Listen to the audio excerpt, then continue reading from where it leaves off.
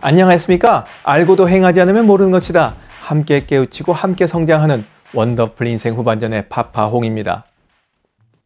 대한민국이 선진국 반열에 오르고 세계가 주목하는 나라가 되었지만 불명의 딱지가 붙은 여러 개의 이름이 여전히 있습니다.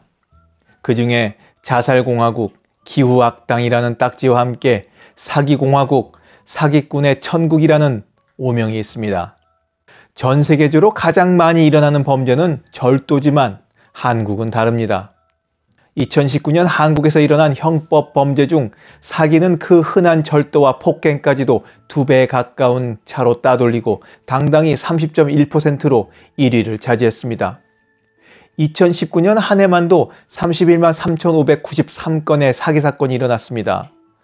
이 수치는 매일 859건씩 일어난 꼴입니다. 사기는 한국에서만 1위를 차지한 것이 아니라 범죄일 기준으로 당당하게 세계 1위를 차지했습니다. 그러니 사기 공화국이고 사기꾼의 천국이라 불려도 뭐 할 말이 없는 거죠. 한동안 옥장판, 건강기능식품, 뭐 게르마늄 팔찌 등을 다루던 다단계 사기는 이제 옛말이 되어버렸습니다. 세상이 날로 변하는 만큼 사기도 진화를 거듭하고 있는데요. 2021년 한 해만 해도 이 수법으로 사기친 금액만 3조 1282억 원으로 역대 최고 기록을 세웠습니다. 그간 활개치던 보이스피싱도 규모면에서 이걸 따라잡질 못합니다. 중장년 이후 특히 은퇴 전후해서 사기 사건에 휘말리면 남은 여생은 나락으로 떨어져 그야말로 지옥 같은 시간을 보낼 수도 있습니다.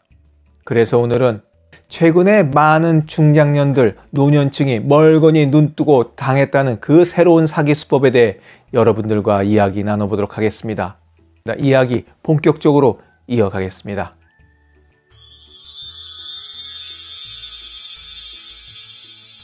다단계 사기 조직들이 큰 돈을 벌 수 있다며 중장년층과 노년층을 현혹시켜 사기를 처먹는 신종 아이템으로 암호화폐를 활용하고 있습니다.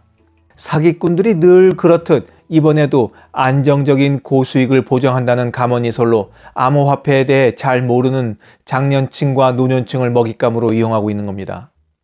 결제 보안 서비스 전문가가 꼽은 다단계 코인 회사들이 벌이는 대표적인 사기 행각 4가지를 소개해 드리도록 하겠습니다. 누군가가 접근해서 다음과 같은 솔깃한 말을 하거나 행동을 보인다면 사기가 아닌지 의심하고 확인해 보셔야 합니다. 꼭이요. 다단계 코인 회사의 대표적인 사기 행각. 첫 번째, 곧 상장되면 가격이 폭등할 거다. 대다수 다단계 사기 코인 업체는 자신들이 자체 개발하는 코인이 곧 거래소에 상장될 것이고 그때가 되면 코인 가격이 아주 폭등할 거라는 말로 투자자들의 환심을 사는 게 전형적인 접근법입니다. 그러니 이 기회를 놓치지 말고 지금 당장 가격이 헐값일 때 빨리 사놓으면 대박 칠 거라며 피해자의 그 탐욕을 자극합니다. 계속 상장을 안 시킬 수는 없으니 뭐 적당한 시점에 거래소에 상장을 하게 되는데 이때 거래소는 코인 발행업체와 결탁한 사기 거래소인 경우가 대부분입니다. 아주 황당한 놈들이 있었는데요. 자신들이 발행하는 BTH 코인이라는 것이 곧 미국 나스닥에 상장될 것이라는 황당한 거짓말을 하며 미국 뉴욕 한가운데 있는 그 전광판에 해당 코인을 홍보하는 조작된 이미지를 투자자들에게 증거라고 보여주었습니다. 참고로 말씀드리지만 나스닥은 미국의 주식거래 시장으로 코인 거래소가 아닙니다. 우리나라도 가상화폐를 증권거래소에서 취급하지 않습니다. 암호화폐만 취급하는 거래소가 따로 있어요. 또 이와 함께 코인을 예치하면 이자를 코인으로 지급하겠다. 뭐 코인 리딩방을 운영하는데 코인 시세를 조정할 수 있으니 투자하라는 등의 말로 접근해 사기치는 놈들도 있습니다. 다단계 코인 회사의 대표적인 사기 행각 두 번째 가상자산 환전 금융 플랫폼 사업에 투자하면 고수익을 보장한다.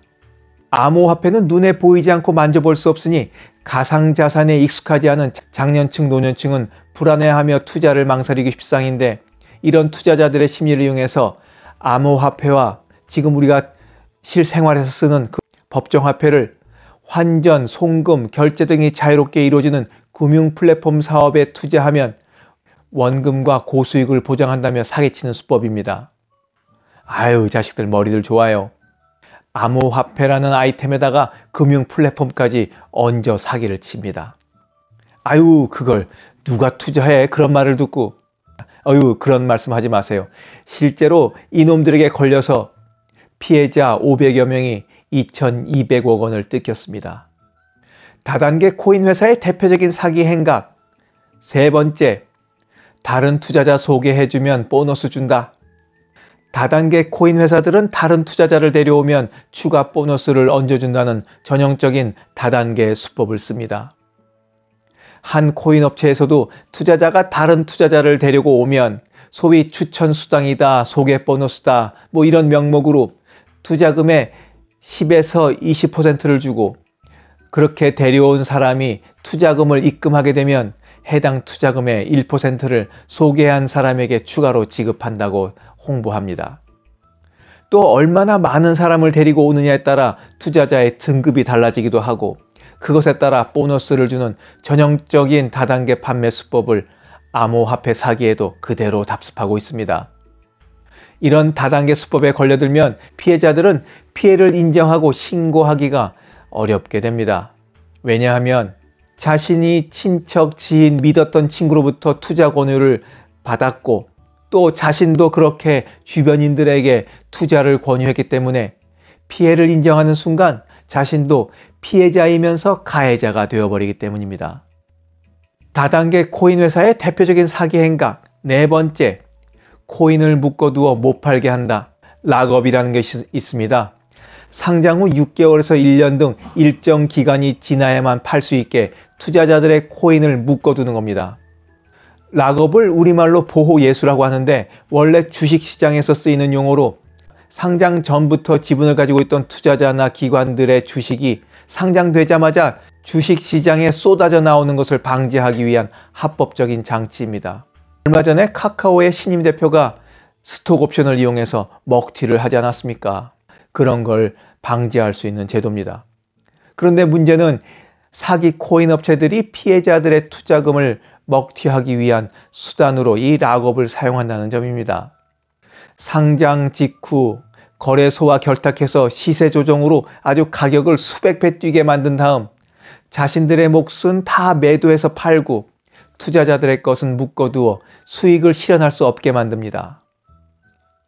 이후에 가격이 급락해도 투자자들은 락업 때문에 손절할 수도 없이 그냥 속수무책으로 당하고 맙니다.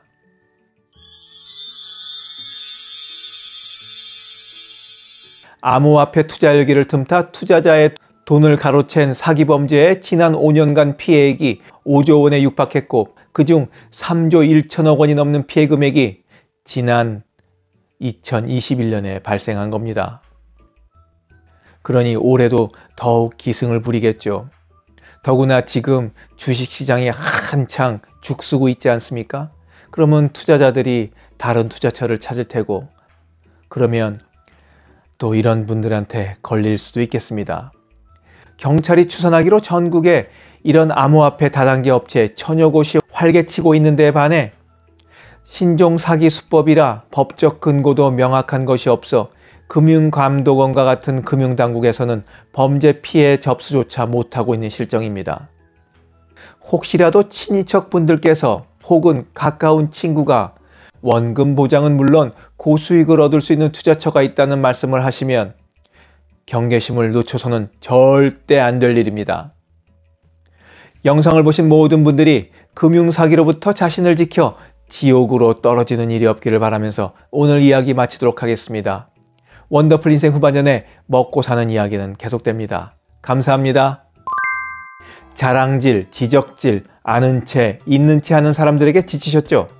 상대방의 얘기 경청하고 익은 벼처럼 겸손한 사람들이 모인 곳이 있습니다. 바로 네이버 카페 실버들의 전성시대입니다.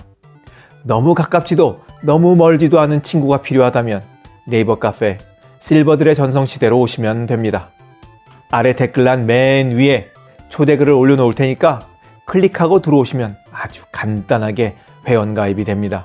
아참! 냉소적이고 비아냥거리고 자기 주장 강하고 남 얘기에 이죽거리는 분은 죄송하지만 절대 사양합니다.